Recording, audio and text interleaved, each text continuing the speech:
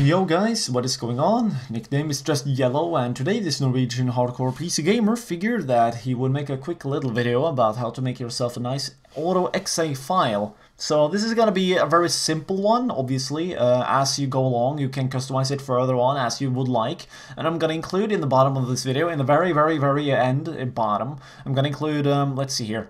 Yeah, it's going to be one or two links towards sites that allow you to systematically go through the entire list of valuable commands for CSGO and pick out the ones that you want to apply or customize. So the point with an AutoExec file is to launch a couple of commands before uh, or rather uh, apply them directly to the, your config file, so to speak, before the game even begins, if that makes any sense. Which, in hindsight, will allow you to more effectively apply settings that you would rather prefer. One of them being 128 tick. Okay, playing on those servers have a lot of benefits, and obviously it require you know a stable internet connection, a 144 hertz screen, you know, to get more visual, um, a more visual. Uh, benefit of it, rather.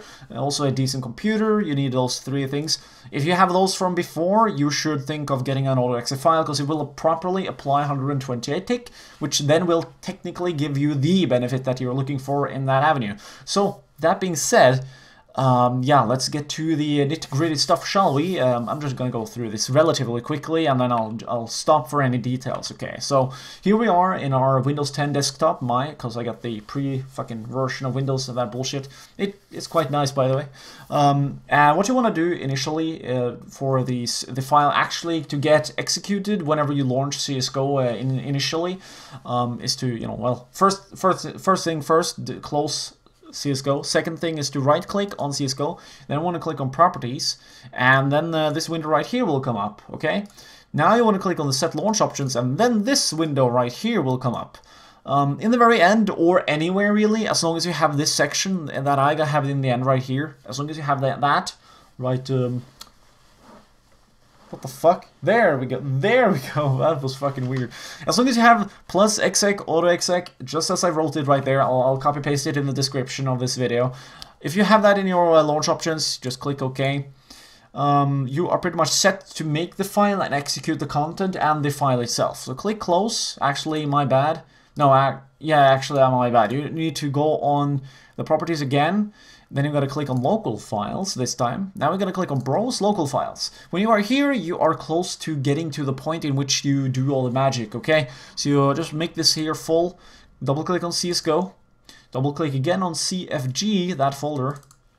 When you are here, I recommend thoroughly to do exactly what I'm doing now. Just right click in the uh, white space, click on view and then on details. If you do this, you'll get it up systematically and now you want to just filter it by date modified make the arrow go downwards. So AutoExec will normally be on top because it's a file that regularly get changed, okay?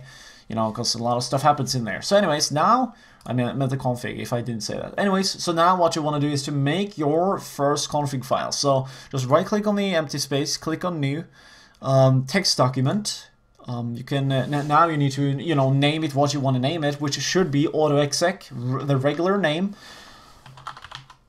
uh, AutoExec there. Uh, in my case scenario, by the way, I'm just gonna do this as an example. I need to make myself a fourth one, okay? So what I'm gonna do is type 4 in the end. You people don't do that, because that way it won't work. It has to be the same name in the pre-launch option as with a file. So I'm going to click enter, and now you need to actually make that file a CFG file. This is the part in which I had a couple of smaller annoyances with in the past, but still I'm just going to show you quickly here. So what you want to do is to open the file, just leave it empty. You technically don't need to, but uh, I would rather do it this way. Click directly on Save As. You want to click on the Save As type, click on All Files. Now you want to click on the name, let the name stay, and then the end you click .cfg. Uh, I'm not sure if big or small letters matter. I just click, uh, just type them in big letters, CFG. Now when you click save, a new file is going to be made that is a CFG type file, a config file, which is exactly what Steam and Valve and CSGO, all that bullshit, that is what they're looking for in this system. So, you know, goes without saying. So now you can delete your regular text document as it says right there, and now you have that CFG file. So you want to open the CFG file, Um, I mean the AutoExec file. I said that wrong. The AutoExec file. Now you have your initial AutoExec file. You want to open it now, and now apply the commands at hand. Now I've made a couple of very simple settings here in which that you you can start out with these. I'll put them in the description in the the order that I'm showing you right now. Um, you want to have these uh, you know files in there and now you're pretty much set. I'll quickly go through what they mean and then we're pretty much done and then you can go on to customizing them further. Uh, obviously a little bit of trial and error is required in order for you to be able to you know set stuff as you would like them to be. Uh, but me personally I'm like th this looks like a pretty nice start I would say. So then we got CL, CM, uh, CMD rate. And then we got CL update rate. Uh, they set the rate for upload and download of your the packets that your game is sending to the server and what you're receiving and stuff like that. Uh, the rate is one uh, 128,000. So, you know, there's that. Uh, CL interp 0 and CL interp ratio 1. Uh, that, that, that's all about the system in which the game will try and, uh, you know, what is the word I'm looking for? It's trying to guess what will happen in in between frames and packets that you get and stuff like that. That that's uh, in regard towards that entire system. Normally I turn it off, but still, you know, it's not too important. Just have it like that is a nice start at least. Um, then we got netgraph 1 and netgraph position 2 and then netgraph proportional font 0. Those three commands, I got them there in order for you people to just get yourself a nice little netgraph so that you can see that the rate has been applied or not. Uh, the position is all the way down at the screen and then the um, font size is very small so it won't take too much space. That's what I'm using anyways, so hopefully that will uh, help you people out in terms of actually seeing whether or not it's applied whenever you launch the game, because it will say down to the right 128 tick if it's applied properly. Um, then we got our draw tracer first person zero. I just added that for fun. Uh, it's so that tracers will be disabled whenever you play the game. In my personal experience, um, it's nice to have off. I'm not sure, even sure if it's relevant or not, but I figured I would just include it for, because why, why not? Technically, if it's something that even affect the game, it should give you a better frame rate, by the way. So yeah, there we go. Anyways, let's move on here. Um, CL disable um, HTML MOTD. That's the motto of the day or message of the day or whatever the fuck that is. I think it's message, yeah. Um, I have that set to zero. Uh, like as it says, it, it says CL disable uh, message of the day or uh, yeah if you have that on one, it will turn off the message that initially appears in a couple of servers, but also it will disable annoying advertisements whenever you play custom servers. This can be nice, mainly because you don't get to hear the ads that might appear in the background, very annoying.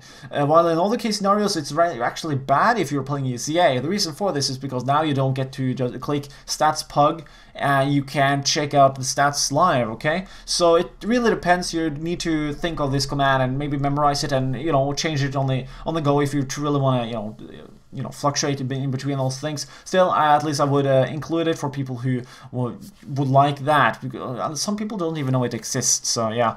Then we got CL Show Clan in Death Notice Zero. It's just so that Death Notices looks more clean. CL loadout, uh, color weapon names, one, it makes the, you know, the coloring down on the right side of the, your screen in this uh, avenue make you know the names more colorful in terms of what grade they have. And then we got Echo Time to Beast. That's uh, a nice notifier of the file has been loaded whenever you launch the game and you check your console. Then lastly we got host write config. This section right here is what just makes the file run and work initially. So there we go. That's an AutoExec file.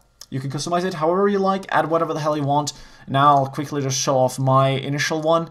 Uh, this is mine. Uh, here we got a lot of commands. I've added my crosshair. I've added uh, small details about the view model, a little bit about my sensitivity, and a lot of the customized settings I have. You can add whatever the hell you want. Okay, so that's that. Good luck. Do whatever the hell you want with this, but if you have this, it's a good start. So anyways, thanks for watching this video. If you want to support the YouTube channel, I like that a little bit too dark, I would say. There we go, that's better. So if you wanted to support the YouTube channel, we got a lot of things that you can just do. Read that in the description. Other than that, thanks for watching. Support is greatly appreciated. Have a nice day, and don't get beastified when you play.